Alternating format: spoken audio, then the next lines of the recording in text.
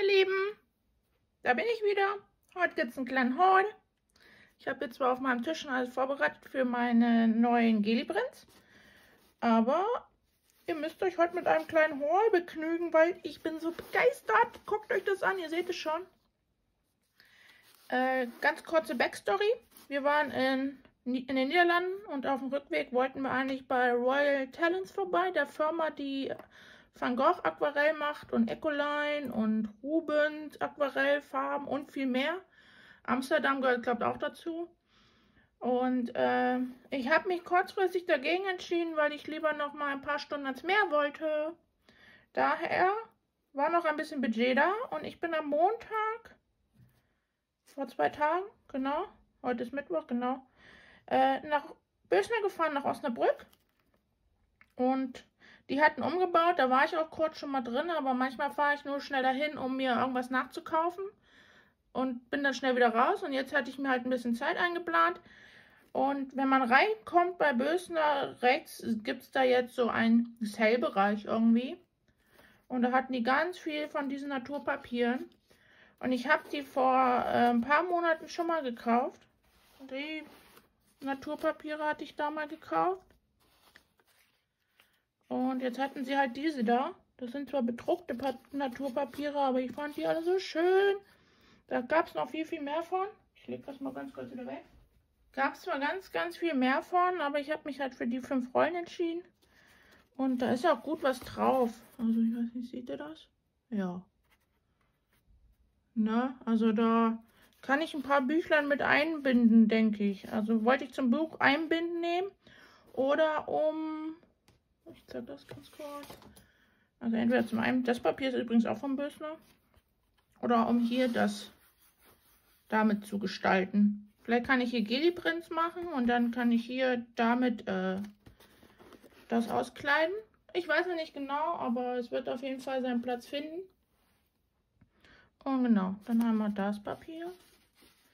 So ein bisschen 70er Flair irgendwie, aber auch irgendwie nicht. Ich hat mich angesprungen und Frühling geschrien. Das gleiche in grün. Dunkelgrün, hellgrün. Dann das hier mit dem Blümchen. Moment, ja, Frühling, ne? Frühling, Blümchen gehen jetzt irgendwie immer. Oder Frühling, äh, gar nicht richtig. Blümchen gehen immer. Das. das ist bei mir eigentlich ein Ticken heller, als es die Kamera widerspiegelt. Weiß ich nicht. Und dieses. Und da habe ich jetzt schon ein paar Mal gedacht, verdammt, hättest du davon mal ein bisschen was mehr mitgenommen. Weil das geht auch in Herbst, es geht auch in, in die Weihnachtstage rein. Und wie cool ist es bitte? Das fühlt sich auch wirklich schön an. Schade, dass ihr das nicht spüren könnt. So, das sind dann die Papiere, die habe ich gekauft. Ich habe mir noch was nachgekauft. Das, es knistert, sorry. Das ist das Skizzenpapier aus dem Bösner, was ich immer zum Einschlagen meiner Bücher nehme. Was ich wie die Geli-Prints nehme. Habe ich mir jetzt nachgekauft, weil meine Rolle ist nicht mehr so voll. Und das ist halt dieses Papier, ne? Also das ist ein Geliprint auf diesem Papier. Und die ganze Rolle, wieder aufräumen, ich muss jetzt hier immer wieder aufräumen, sonst äh, sauf ich ab. Die ganze Rolle, ich zeige das mal hier so, 12 Euro knapp. 12 Euro, ich gucke noch mal ganz kurz. 11 Euro knapp. 10,98 Euro und ich kann das echt empfehlen. Also wenn ihr jetzt irgendwie einen Bösen in der Nähe habt, kann ich dieses Papier wirklich gut für Geliprints empfehlen. Ihr müsst es zwar zuschneiden. Ich mache mir halt immer, weiß nicht, 10, 12 A4 Teile fertig. Die presse ich mir dann, damit sie gerade bleiben, weil auf der Rolle rollt sich das halt immer wieder ein. Und dann drucke ich mir die ab. Und das ist so super, dass ich mir das jetzt nachgekauft habe. Aber ich wollte euch die Verpackung einmal zeigen. Ich weiß nicht, gibt es hier auch irgendwo eine Nummer? Hier gibt es eine Nummer. Ich weiß nicht, ob es dies im Internet auch gibt. Aber bei Bösner auf jeden Fall. Nachgekauft. Nachgekauft.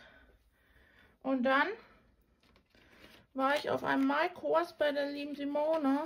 Und wir haben mit Kohle gemalt. Ich fand das so cool. Sie hatte so Kohlestückchen, kennt ihr vielleicht. Also wirklich einfach nur Kohlestückchen, ohne was drumrum. Aber was mich gestört hat, ich hatte die Kohle überall. Ich hatte die im Gesicht, ich hatte die überall. Und deshalb sind mir diese Stifte ins Auge gesprungen. Und die Marke kannte ich jetzt auch schon. Und Stift, Kohlestift in drei verschiedenen Härten. Und einmal in Weiß. Ähm ich weiß, also getestet, wie ihr seht, habe ich sie jetzt noch nicht. Aber ich werde sie auf jeden Fall testen. Ich weiß halt nicht, ob das sich genauso anfühlt, wie wenn man mit der Kohle, also dieses, was ich bei Simone hatte, malt. Aber ich werde es ausprobieren. Und so ein Stift kostet, glaube ich, habe den Kassenzettel hier, deshalb sage ich es euch. Eigentlich ist es nicht so interessant, aber so ein Stift kostet mich 2,85 Euro. Ja, jetzt nicht so billig, ne? Nicht so billig. Aber sie hatten auch leider kein Set da, sonst hätte ich ein Set gekauft. Auf jeden Fall die durften mit. Packe ich gleich mal aus.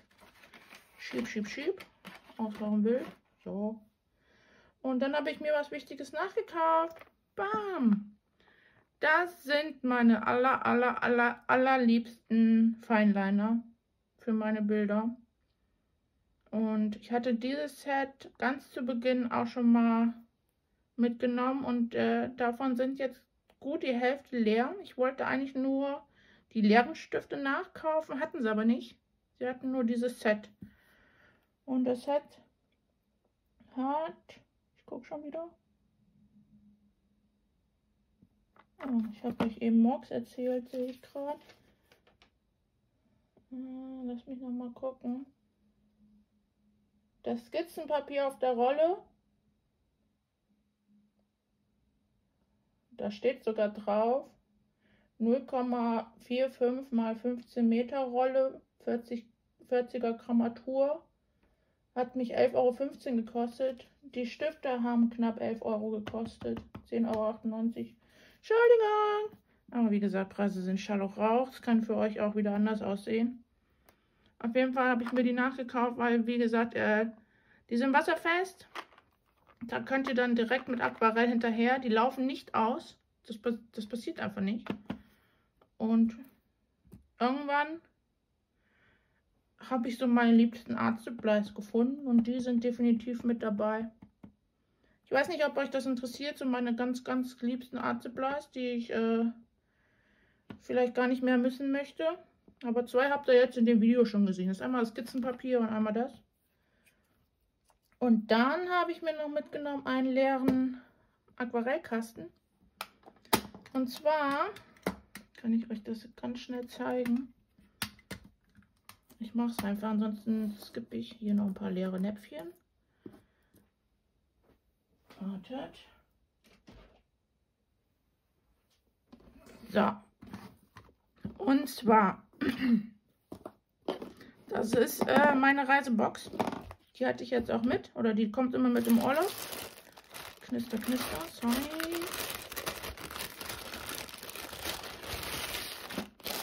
Und das ist mein aller, allererster Aquarellkasten, den ich mir je geholt hatte. Und der war jetzt immer mit im Urlaub.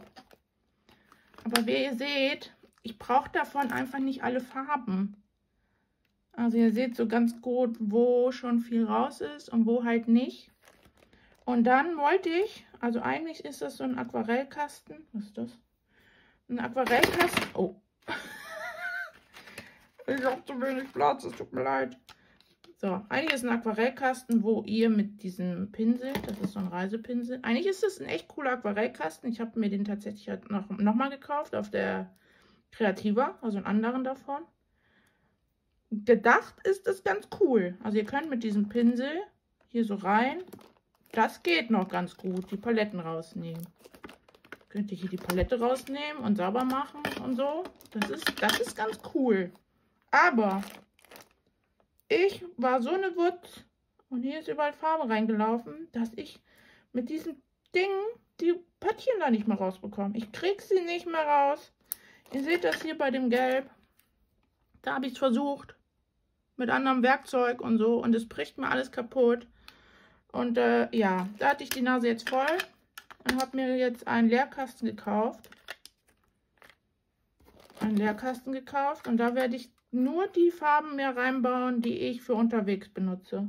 Das wären so acht Farben. Ja, vielleicht nutze ich es auch aus. Vielleicht werden es zwölf Farben. Ich weiß noch nicht. Und äh, ich habe teilweise diese Farben schon in Tuben und habe die nachgefüllt. Ich habe ja drüben meinen großen Kasten. Deshalb habe ich mir leere Näpfchen mitgebracht. Und die kann ich mir dann mit der Farbe füllen aus den Tuben. Und hier, ich muss mal gucken, vielleicht kriege ich es mit Gewalt raus. Also wäre halt schade, wenn da jetzt ein Vergang dran wäre. Also, weiß ich jetzt nicht. Muss ich mal gucken, aber deshalb habe ich mir einen Leerkasten gekauft. Kommen dann die Näpfchen hier rein.